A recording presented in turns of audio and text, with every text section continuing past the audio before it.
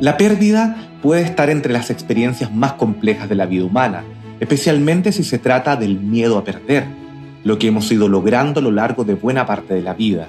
El desempleo, los problemas de salud, la muerte de un ser querido y la pérdida de control de la existencia propia manifiestan algunas de esas pérdidas, que son complejas en la edad adulta.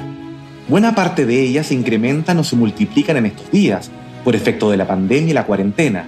Frustración, miedo, rabia, alegría, esperanza, tristeza. Altibajos constantes que desestabilizan hasta las personalidades más serenas. Esta semana busca entregar herramientas para ayudar a estos procesos.